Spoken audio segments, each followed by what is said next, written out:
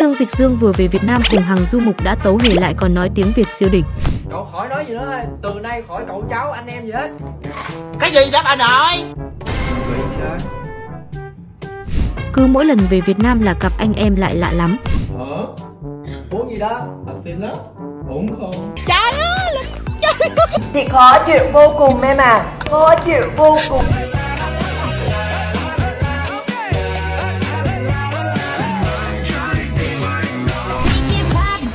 Trời ơi Trời ơi Trời ơi Nhất Dương của tôi bị sao vậy nghe? Duy Mẫn đã hòa tan và tìm gặp chính mình. Của Nhất Dương lạnh lùng ấm áp của tôi đâu rồi? Nhất Dương về Việt Nam thấy mặt tươi hẳn. Bắt đầu series các tiểu phẩm hở ra là diễn. Trong ồn ào hôn nhân của hàng du mục, Nhất Dương và Dịch Dương cũng là hai cái tên khiến nhiều người cảm thấy rất nặng lòng và thương cảm. Đây cũng là câu chuyện hiếm hoi cư dân mạng được chứng kiến khi cả hai con trai riêng đều đi theo mẹ kế sau khi hàng du mục và tôn bằng ly hôn. Khoảnh khắc Nhất Dương Dịch Dương kè kè bên hàng du mục trong chuyến về Việt Nam sau tất cả những ồn ào tại Trung Quốc khiến nhiều người ấm lòng.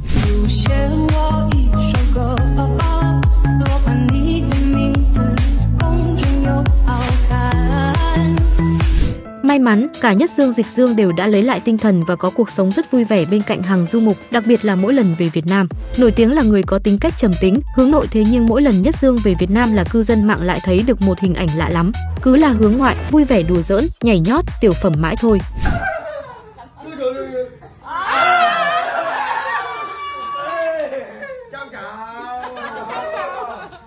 Không những vậy, Nhất Dương Dịch Dương hiện còn đã bắt đầu học tiếng Việt để về Việt Nam với gì nhiều hơn.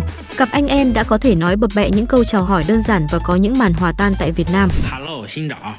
Hello, xin chào Việt Nam. Ờ, xin chào Việt Nam. Tôi là Hả? tôi là Tôi là Dĩ Dặn Dạ. Triệu căn bản. ở Khi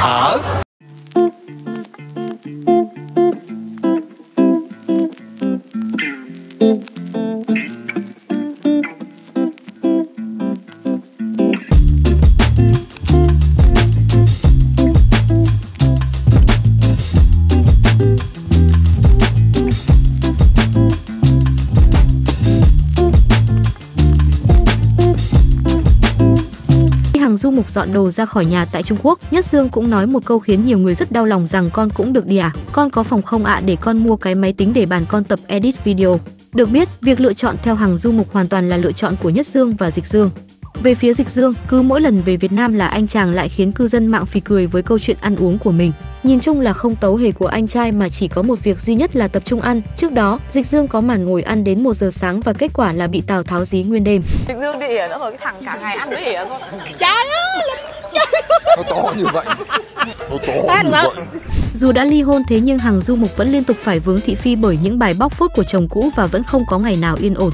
Theo chia sẻ của bố hàng du mục, tại Trung, cô cùng bốn con đã dọn ra ở riêng và mỗi khi ra ngoài phải có vệ sĩ đi theo bảo vệ.